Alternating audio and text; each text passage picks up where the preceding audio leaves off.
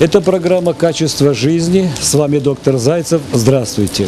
Одним из самых распространенных симптомов медицинской практики э, считается повышение артериального давления. Нужно сказать, что это повышение артериального давления встречается как самостоятельное заболевание, тогда оно носит название гипертонической болезни, или э, это симптом гипертензии. Э, Кому сегодня неизвестны признаки повышенного артериального давления, которое связано или с физической, или с эмоциональной нагрузкой? Резкая головная боль в затылочной области, это неприятные ощущения в области сердца, покраснение кожных покровов лица и, конечно же, слабость и чувство дискомфорта в области сердца.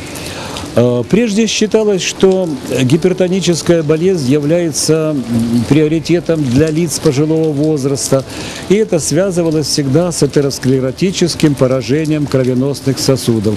Но в настоящее время очень часто регистрируется гипертоническая болезнь у лиц молодого возраста. Как правило, это люди приходят э, к врачу, э, и заболевание выявляется совершенно случайно, когда им измеряют артериальное давление, и обращаются они к врачу совершенно по другому поводу. Тем не менее, гипертоническая болезнь иногда протекает бессимптомно, и в этом ее коварство. Но характерным для нее является это частые обострения в виде гипертонических кризов. И что самое печальное, это осложнения в виде сосудистых катастроф, таких как инфаркт миокарда или же инсульты. Как сохранить качество жизни при наличии повышенного артериального давления? Мы об этих проблемах сегодня и поговорим в областном кардиологическом центре. Сегодня моим собеседником будет областной кардиолог, заведующий кардиологическим центром Николаевской областной больницы, кандидат медицинских наук Александр Владимирович Шабельянов. К нему я сейчас и направляюсь.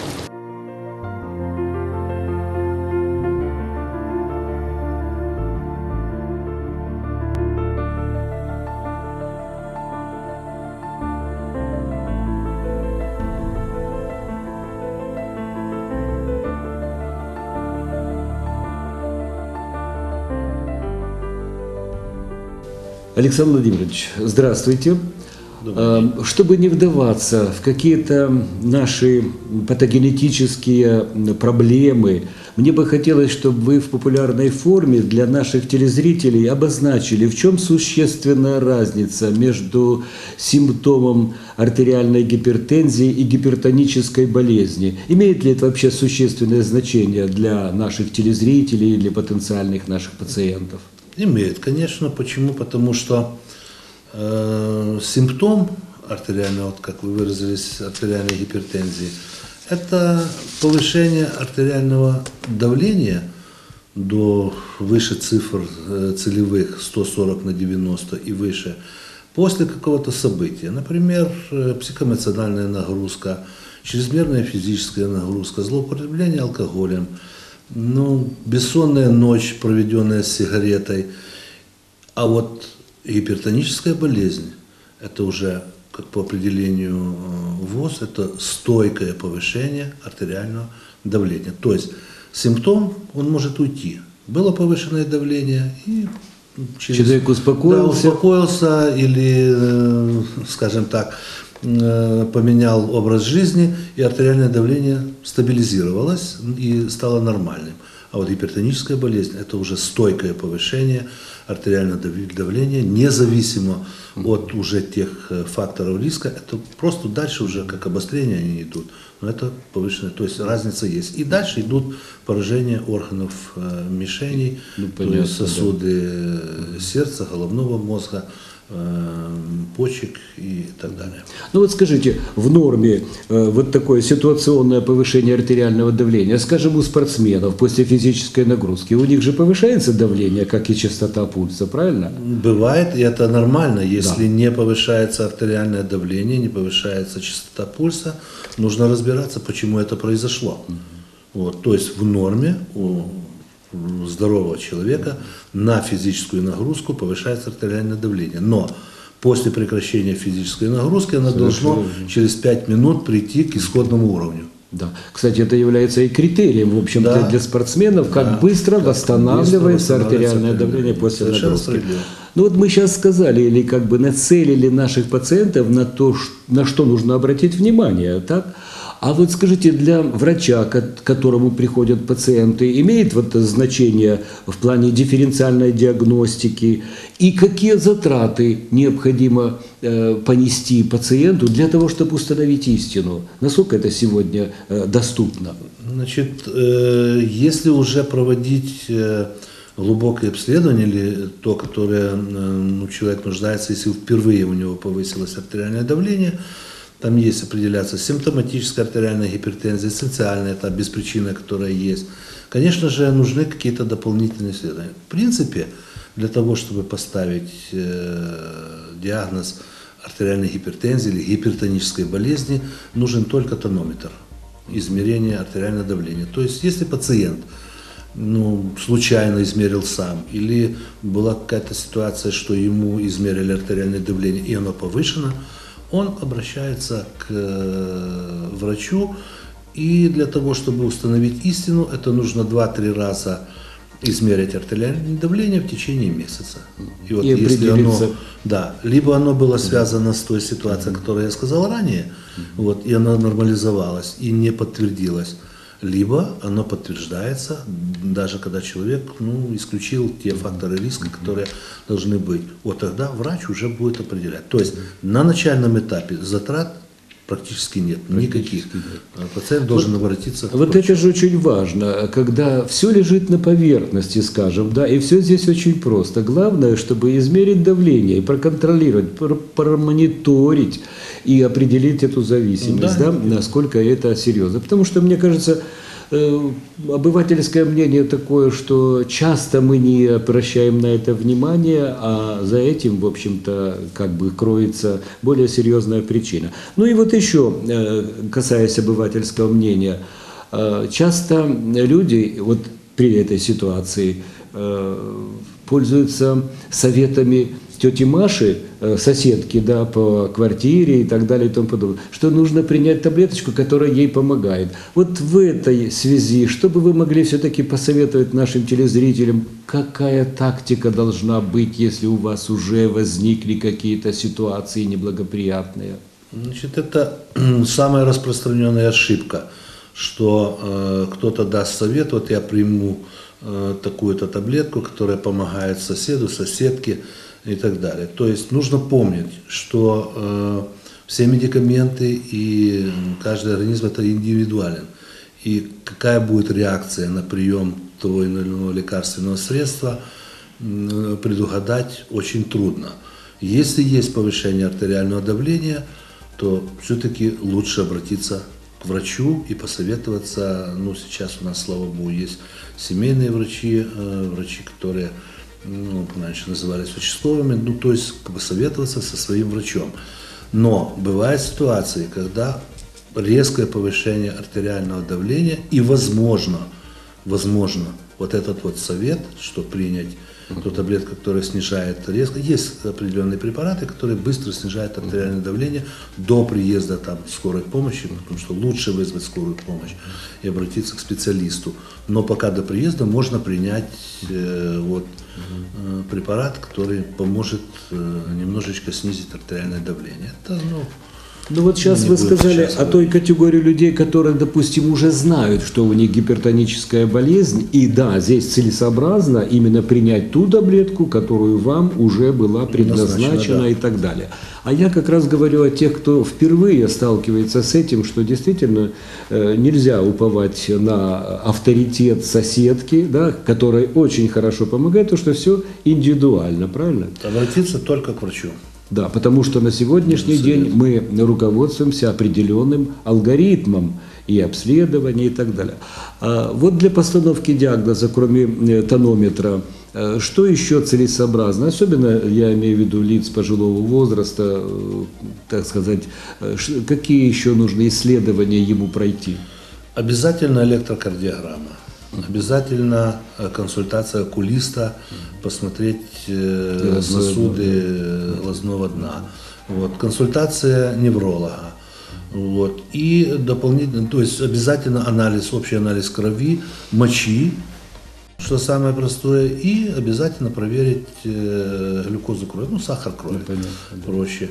А дальше, может быть, это уже врач посоветует какие-то дополнительные, может это будет и компьютерная томография, и МРТ, или там дополнительные какие-то биохимические исследования. Но это уже если есть какая-то патология, которая вызывает тревогу именно у лечащего врача. А вот самые простые и самые первые и обязательные обследования – это электрокардиограмма, повторюсь, э, исследование сосудов глазного дна, консультация невролога, вот, может быть эхокардиография, вот, то есть УЗИ сердца и анализ крови, мочи и кровный сахар.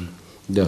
Ну и, и, конечно же, каждый человек в этой ситуации, вот то, о чем вы сказали, что, э, ну, первое, что я хочу тоже подчеркнуть, что это не затратные мероприятия по диагностике, скажем даже так, да, ну, на определенном этапе, Ну, да, вот. думаю, да. И самое главное, каждый человек должен учитывать свой возраст, образ жизни, так ведь? Что влияет или способствует этому. Мы начинаем, и вот по, э, вы упомянули алгоритмы, протоколы лечения. Конечно же, э, лечение артериальной гипертензии или гипертонической болезни, оно начинается с изменения образа жизни, то есть так называемые немедикаментозные методы лечения. То есть только при э, определенных цифрах стойких повышения артериального давления, то есть давление 160 на 100 и выше, тогда подключается медикаментозное лечение, если не помогают немедикаментозные методы лечения. Но опять же, это каждый человек должен для себя определиться. Будет он злоупотреблять алкоголем, будет ли он э, курить и дальше, и принимать таблетки. Может быть, проще отказаться от сигареты, да, и уменьшить потребление э, препаратов и иметь нормальное артериальное давление, чем продолжать курить и пить э, таблетки одновременно. Вот, там э, малоподвижный образ жизни, то есть физические нагрузки должны быть. Очень большое значение имеет э, ну, употребление соли. То есть человек, который потребляет много соли, здесь нужно уменьшить, обязательно будет повышение артериального давления. Ну и провер- проверить, конечно же, нужно щитовидную железу. Вот. Ну, это дальше уже идет, Да, опять же, это то, о чем вы говорите, да. алгоритм Но обследования. для да. начала все-таки нужно э, самому определиться. Может быть, проще и более дешевле э, поменять образ жизни, чем э, глотать таблетки, которые ну, необходимо. А, Я хочу Извините, здесь, я думаю, принимаю. ум- уместно сказать, а, я не помню, кто из великих и популярных таких писателей выразил очень остроумное мнение, что а, вот как человек, который не может отказаться от вредных привычек, которые, собственно, приводят, он его сравнивает с тем человеком, который берет дубину, э, стукает себя по голове, а после этого принимает таб- обезболивающие таблетки. Понимаете, вот, вот точно так же то, о чем вы сказали, что э, прежде всего нужно упорядочить свой образ жизни, убрать те причины, которые к этому приводят, меньше скандалить, да, Да, Э, уменьшить свою, так сказать, экспрессию в этом плане эмоциональную. А только благоприятные эмоции должны быть, созерцание природы, видов Совершенно- искусства и так далее. совершенно Э, музыки, э, обязательно воздействие. Это все, как говорится, факторы, которые ничего дополнительно не требуют, но качественно влияют, в общем-то, на состояние. Э, Ну вот еще раз давайте вернемся в- к той проблеме, я думаю, что она сегодня и затрагивает вас, и вы с этим сталкиваетесь, что если раньше существовало мнение, что это только атеросклеротическое поражение сосудов влечет за собой обязательно гипертонию, а, но сегодня мы сталкиваемся с э, молодыми людьми, у которых также проявляется гипертоническая болезнь. Вот почему такой вот появился сегодня дисбаланс в сторону омоложения заболевания? Ну, вопрос э, ну, и простой, и очень сложный. сложный. Почему? Потому что ну, изменилась э, вообще образ э, жизни. То есть мы- Рит- ритм в общем-то, да. Это все сейчас э, ну, изменилось, нет той размеренности, которая была раньше.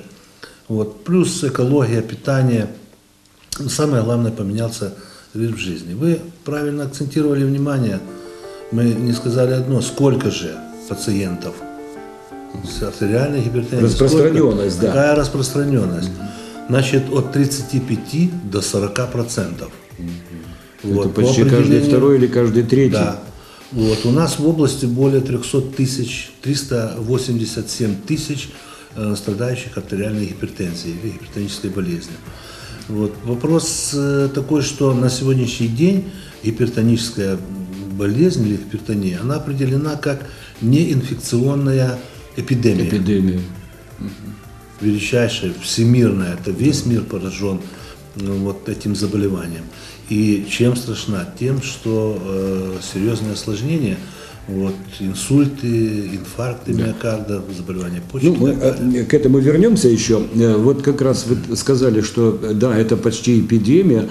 А вот какие предпосылки, кроме ритма жизни, нагрузок э, психоэмоциональных, физических и так далее, как влияет качество питания на развитие вот, гипертензии, избыточный вес, который мы э, часто наблюдаем и так далее и тому подобное? Это Я- взаимосвязанные вещи? Это взаимосвязанные вещи, есть определенные факторы риска, о которых я, э, ну, вскользь уже сказал несколько раз, э, мы повторяемся об этом, и будем и дальше И дальше. повторяться, и мы Да, будем об да, этом да. говорить. Вот почему. Есть факторы риска, которые мы не можем корректировать. Это наследственность, это возраст и это пол. Но мы же не можем поменять, да, как-то пол там или... А, кстати, как взаимоотношения между мужчинами и женщинами? Э, У женщин чаще. Чаще. Чаще, к сожалению, бывает э, артериальная Это генетические Это такие генетические предрасположения? предрасположения, да. Особенности Вот. анатомии, И- физиологии. Конечно. И очень часто у пациентов, у которых э, прослеживается мама, папа, дедушка, бабушка, Да, если они да. были гипертоники, Наследственность. наследственность это тоже, это те факторы, на которые мы повлиять не можем. Но есть факторы, на которые мы можем повлиять, которые очень влияют на развитие или факторами риска артериальной гипертензии. Это прежде всего, правильно вы сказали, избыточный вес, злоупотребление э, алкоголем, это э, малоподвижный образ жизни. Вот, это особенно, особенно везде э, для, вообще для сердечно-сосудистых заболеваний курение. Повторюсь, курение. Вот. И э, характер питания. Я уже сказал, что злоупотребление солью вот, э, имеет большое значение для развития артериальной гипертензии. А, э, Как раз в отношении питания я хочу сказать, опять же, сейчас не буду приводить именно фамилию автора, а, по-моему, Марк Твейн сказал а, по этому поводу, что э, человек э, такое существо, что он привык не отказывать себе в удовольствиях во всякого вида, и в том числе в еде, и дает мудрый совет. Очень трудно его воплотить в жизнь, что есть нужно то, что тебе не нравится, пить нужно то, что тебе не очень нравится, и делать все то, что тебе не совсем э, тоже нравится. То есть э, э, не надо увлекаться, а мы э, очень любим себя и настолько себе не отказываем во всем. Вот вы даже сказали про соль, элементарно, казалось бы, да, вот щепоточка соли и все, не надо пересаливать пищу, потому что это чревато. Натрий хлор приводит именно к тем вещам, о которых мы сегодня с вами говорим.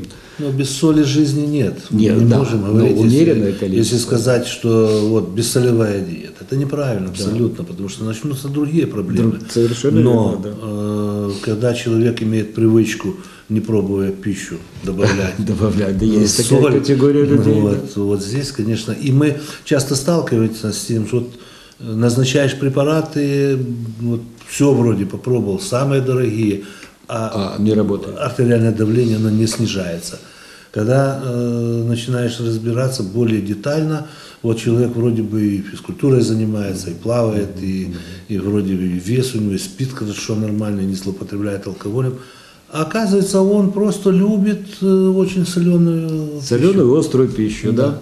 И здесь причина, когда И снижается этом- давление, и снижается артериальное давление, уже меньше количество препаратов нужно для этого. Ну вот, говоря о гипертонической болезни, ну, наверное, те, кто страдает ею, они знают, что она чревата тем, что это хронически протекающее заболевание с частыми обострениями. И в частности, вот гипертонический криз. Э, Ну, тут не надо говорить особенно, что вызывает криз, правильно? Да, это те запороговые какие-то нюансы, которые вообще присущи нашей жизни, особенно сейчас. Э, Вот как должен вести себя человек, у которого случается гипертонический криз, и до приезда врача или до посещения врача. Ну, я отвечу на ваш вопрос, но я хотел бы сказать, вы правильно сказали, отметили, что гипертоническая болезнь – это хроническое заболевание. И самая большая ошибка пациентов, и что греха таить, иногда и э, врачей, ну, редко, но это бывает, что э, вот человек начал принимать препараты, давление артериально стабилизировалось. И все считают, что вот мы вылечили, и все нормально, и прекращается прием препаратов по тем или иным причинам. Но чаще всего, особенно молодые пациенты, они прекращают прием препаратов, потому что считают, что они уже здоровы. Но повторюсь, и повторю э, снова и вас, тоже вы правильно абсолютно сказали, что это хроническое заболевание, которое развивается длительный период. Только лишь симптоматическая гипертензия, если там, не дай бог, воспаление почек, да, Да, и да. сразу появилась артериальная гипертензия. А так этот процесс развивается очень медленно, длительно. И мы пытаемся снизить давление, и э, организм должен к этому привыкнуть, к низкому артериальному давлению, потому что система так устроена, что будет стремиться повысить это давление, несмотря ни на, Ни на что. что. И если мы прекращаем прием препаратов, вот тогда возникают гипертонические кризы, о которых вы сказали. Бывают разные ситуации. Перемена там погоды. Погода. Это тоже есть люди, которые чувствительны. метеочувствительны. Метеозависимость, да, Да, бывают стрессовые ситуации, бывают ну, различные жизненные. Мы же не можем, это же не стерильное там какое-то общество, или мы не живем в каком-то замкнутом пространстве. Мы же находимся в обществе, и все может быть. Но если мы под защитой препаратов, то гипертонические кри- кризы, а это что такое гипертонические? Это обострение. Это резкое обострение, резкое да. обострение хронического заболевания. Вот оно возникает реже. Но у пациента, который страдает гипертонической болезнью, у него есть набор или должен быть набор препаратов, который врач ему должен подобрать и подсказать, что ему больше помогает. Вот, это может быть там каптоприл, может быть фенигидин, может быть там э, другие какие-то препараты, которые до приезда скорой помощи, может быть это даже таблетка нитроглицерина, если больной э, страдает еще дополнительной Ишемической, болезнью сердца, которая поможет снизить артериальное давление. И почему? Потому что резко мы тоже не можем снижать или нельзя снижать резко, но уменьшить эти цифры, пока приедет скорая, это можно. Поэтому каждый пациент должен посоветоваться с Врачом со своим врачом да. лечащим и иметь в арсенале те препараты, которые помогут ему купировать этот гипертонический криз. Вот если я вас правильно понял, что существует у нас с вами понятие базисной терапии, да, вот это то самое непреложное правило, при котором больному, это не только при гипертонической болезни, необходим постоянный прими- э, прием препаратов. В данном случае то, о чем вы сказали, то есть пролонгированного гипотензивного средства и так далее. А и вот э, как раз вот дальше нарушают, конечно же, э, то, о чем вы говорите, прекращают прием, и тогда может произойти то, о чем чаще всего мы и чем мы обеспокоены, и вы в своем отделении в том числе, когда периодически скорая помощь доставляет сюда больных. Вот об этой категории э, больных, которые тоже должны знать, чем чревата гипертония и чем чреваты вот эти частые кризы. Вот гипертонический криз и вообще гипертоническая болезнь опасна развитием своих осложнений. Самые грозные – это инфаркт миокарда и инсульт. То есть сосудистые катастрофы, о Мы- которых мы много-много да, раз говорим. Ну, э, говорить о том, что ну, все знают, что такое инфаркт, и не дай бог, у кого-то в семье есть пациент, э, который перенес э, ишемический или гем- геморрагический инсульт после ну, гипертонического криза. И вот это самое страшное. И вы правильно акцентировали внимание, что нет курсового лечения гипертонической болезни. Повторюсь еще раз, нет. Пожизненно, потому что все знают, что если есть сахар, сахарный диабет, все вот принимают таблетки, диету, и все вроде бы как знают. Но э, по сравнению с гипертонической болезнью, процент пациентов с сахарным диабетом, это ну, ни, ну, ни в какое сравнение не идет. Это ну, там цифры несоизмеримы. Да? Каждый должен знать свое артериальное Свое давление. артериальное Точно так же, как сахар и холестерин. А, Александр Владимирович, э, так я полагаю, время нашей беседы, э, я, мне хочется надеяться, что она прошла не бесследно для наших телезрителей и вызвала определенный интерес, а еще лучше, если она вызовет какие-то вопросы, и вы сможете их задать. Э, Мы напишем, э, по какому телефону вы можете позвонить. Э, Я признателен вам за то, что вы выкроили время и провели с нами этот, эти полчаса. Я думаю, что из ваших уст прозвучали довольно убедительные советы нашим телезрителям, у тех, у кого, слава Богу, еще нормальное давление. Но не забывайте, что все течет, все меняется. С возрастом меняются наши параметры и возможности. С возрастом мы приобретаем все, кроме здоровья. Помните, дорогие, об этом. И помните о том, что в ваших руках лежит качество вашей жизни.